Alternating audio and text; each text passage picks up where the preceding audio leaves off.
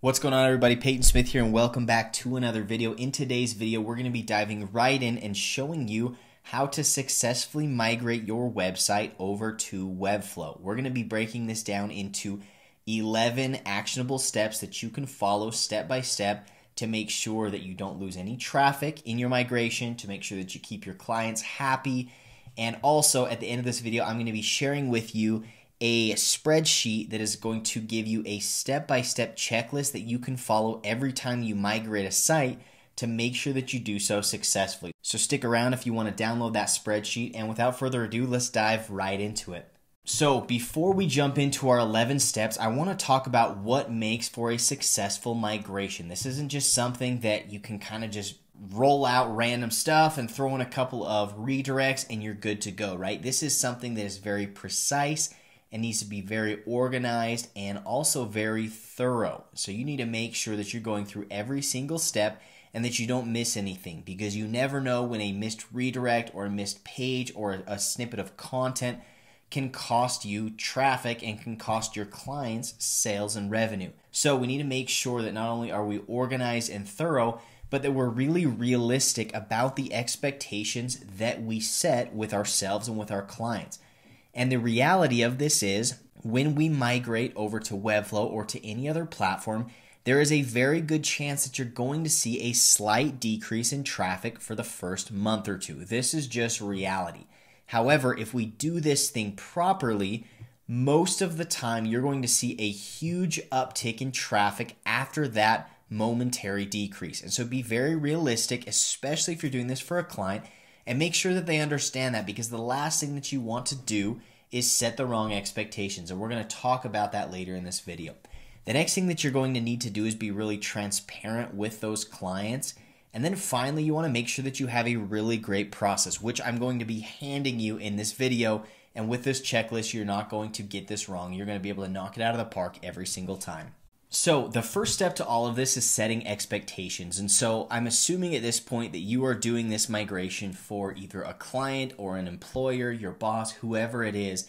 And regardless of your situation, even if it's your own website, you need to make sure to set proper expectations. One of the most common questions that you're going to get asked is Will migrating mess up my Google ranking? And the short answer is yes, it's going to mess it up probably for at least a month or two. And so if you set this expectation and let them know that, yes, we might see a small dip, but if we do things correctly, after two to three months, we're going to see not only a recovery in our traffic, but we can certainly set ourselves up to see a huge increase. And so set expectations and let them know what to expect.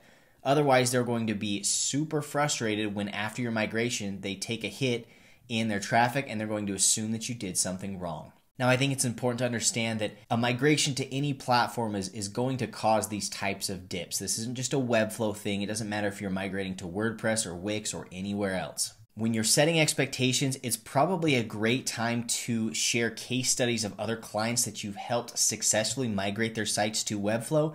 Not only will this instill confidence, but it's going to make your clients be a little bit more patient with you when sitting around waiting for that traffic to recover.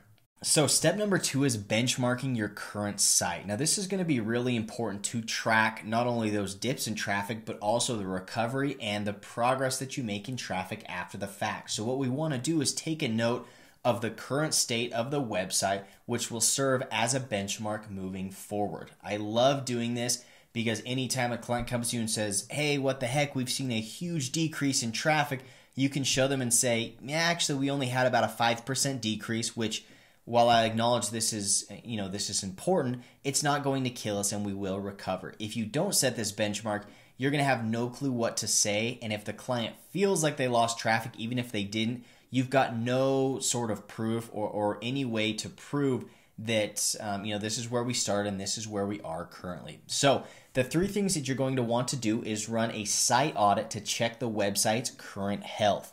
This is something that you can do in any um, SEO software, whether it's Ahrefs or SEMrush. And I've got a video right here that you can watch if you want to learn more about using these softwares to run these audits and checks. The second thing you want to do is set up position tracking to monitor the website's current rankings. And so, again, in any software, you're going to be able to plug in the site and see exactly what keywords it's ranking for and in what position it's ranking. And again, this is going to give you a great, great baseline. The third thing you're going to want to do is take note of the current traffic the website is receiving. Once again, this can be pulled from anywhere from Google Analytics to a SEMrush or an Ahrefs type tool. Um, a lot of times, your clients are also going to have access to this from their analytics or search console. So make sure that you take note of that before you start. Step three is getting organized. And this is where the spreadsheet and the tools that I'm going to share with you are going to come into play. Because what you're going to want to do is find the sitemap to the domain and make sure that you have all of the different pages and links um, so you know exactly what you need to do as far as redirects um, or just to make sure that no pages are forgotten on the new site the tool that's attached to the second tab of the spreadsheet that you can download at the end of this video is going to have a really simple tool that you can plug in the sitemap URL and it's going to automatically extract all of those links. Now keep in mind that you need to make sure that a sitemap has been produced and so if you don't know how to do that, we'll probably drop a link down below in this video just to help you along in that process. After that, you're going to want to use a backlink analytics tool to take note of the pages on your site that have backlinks. It's really, really important, and I can't stress this enough. It's super important to not lose any good backlinks during this process. And so you can see that in a tool, again, like Ahrefs or SEMrush, you can use this backlink search tool just to make sure that you are accounting for all of those links. Make sure that any of these links that are linked to specific pages of your site that you're either matching those page links or you at least have redirects. That's going to help make sure that those backlinks don't get disconnected and lost. You're going to want to use tools like Google Analytics and Search Console to see which pages have already been indexed by Google and which ones are receiving a good amount of traffic. These are typically the ones that you're going to want to have top priority and make sure that you're preserving those pages when it comes to page titles, meta descriptions, um, page content, images.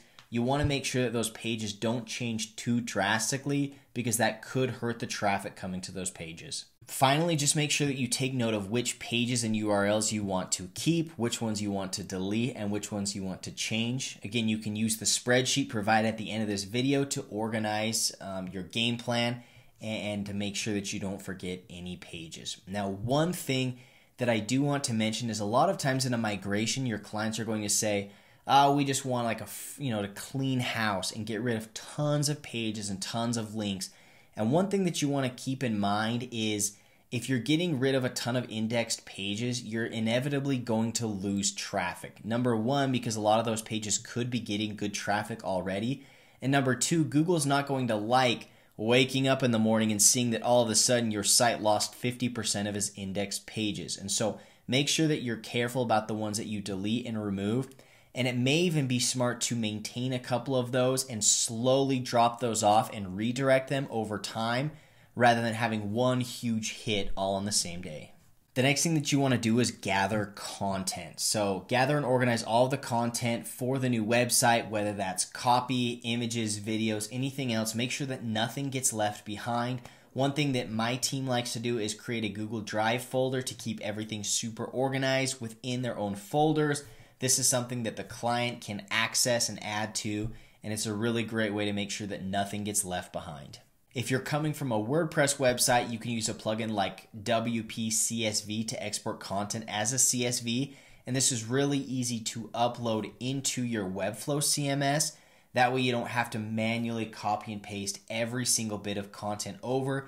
Again, we want to make this process as seamless as possible. Next, you're want to take care of on-page SEO. So when you're rebuilding the site in Webflow, make sure to take care of your on-page SEO. Oftentimes, the quick wins come from tidying up your on-page SEO if there were any previous errors. And so earlier in this video, we talked about benchmarking the site and running your health audits. And a lot of times when you migrate a site, you're to notice that there are a ton of on-page errors. Now, if you don't know what I'm talking about, with on page errors.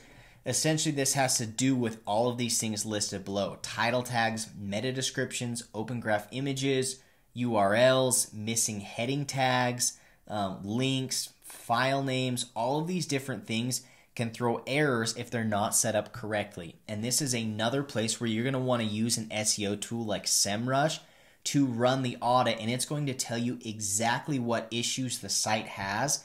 And again, you might as well make these updates while you're building the new site because any sort of dip in traffic that you could experience could potentially be more quickly recovered because your site is so much healthier and you've gotten rid of so many of these on page errors.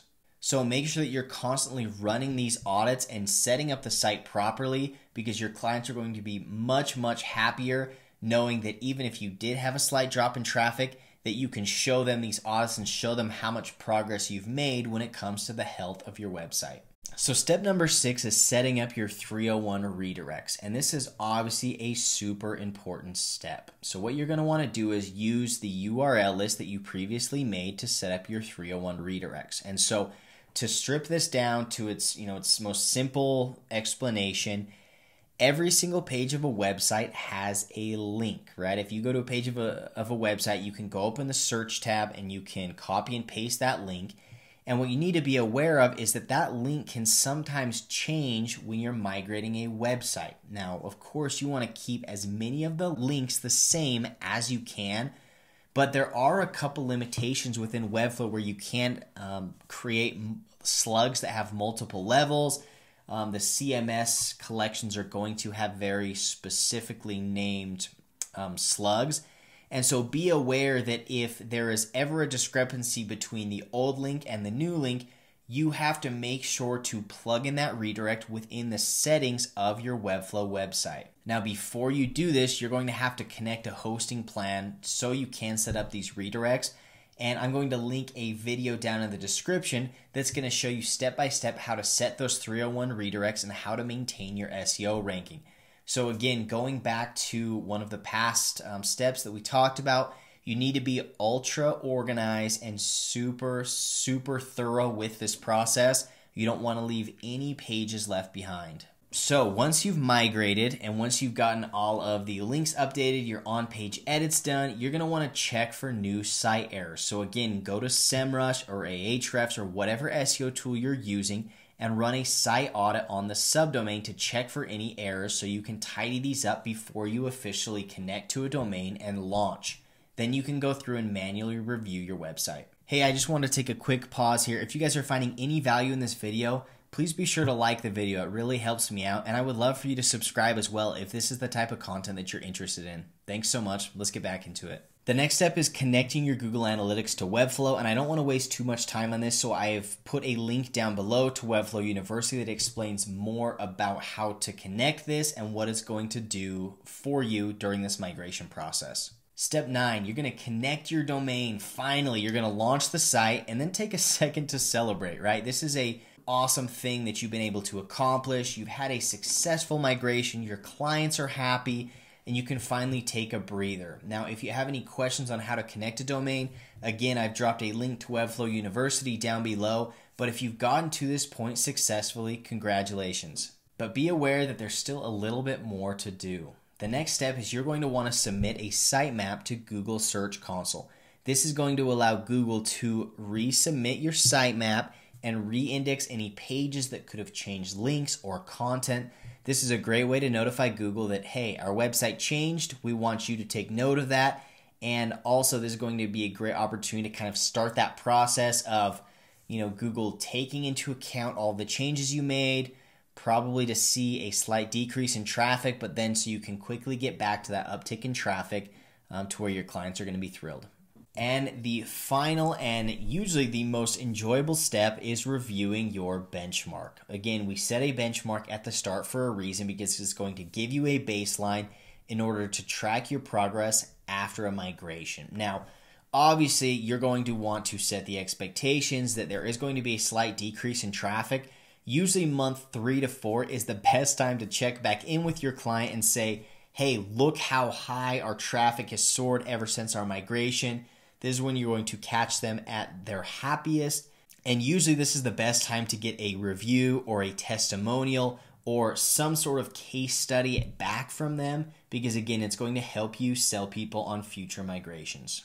So, we've gone through steps 1 through 11. We've talked about all of the big steps that you need to take in order to have a successful migration. So, now what I want to talk about is this free spreadsheet that we have built and are providing. Again, we've talked a little bit about what it's going to do for you. Number one, it's going to give you the ability to plug in a sitemap and extract all of the URLs from that website. It does this all right within this Google Sheet. But the other thing that it's going to do is give you a step by step migration process that you can follow for every single client. Now, you're going to notice that within this checklist, there are a lot of things that we weren't able to cover in this video. And we're going to be constantly editing and updating this migration checklist in order to add more value, more resources, and to help you through this process. And so, if you want to download this, right down below in the description, it's going to be the first link that you find. You're going to be able to click through to my website and download that uh, that spreadsheet and checklist. I hope that it comes in handy for you and it will help you through all of your future migrations. And again, if you found any value in this video, be sure to smash that like button down below. Number one, because it makes me feel good. And number two, it helps me know what type of content you guys are liking. So thanks so much for watching the video, and we will catch you in the next one.